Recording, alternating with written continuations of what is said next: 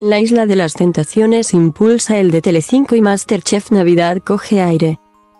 Telecinco comenzó ayer su Semana de las Tentaciones con éxito de audiencia.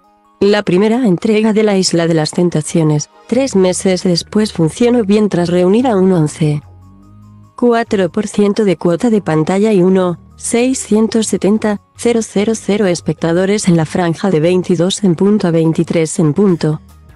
Para toda la vida, The Bachelorette apenas mejoró después sus datos de la semana pasada y se conformó con un 7,4% y 703,000 frente al liderazgo de Hermanos. La serie turca de Antena 3 dominó la noche sin problemas con un 14,1% y 1,514,000 televidentes. La segunda entrega de Masterchef Navidad cogió aire con su cambio de día tras su frío estreno del jueves pero sigue lejos de las audiencias habituales del formato. El talent show de cocina interesó a un 10.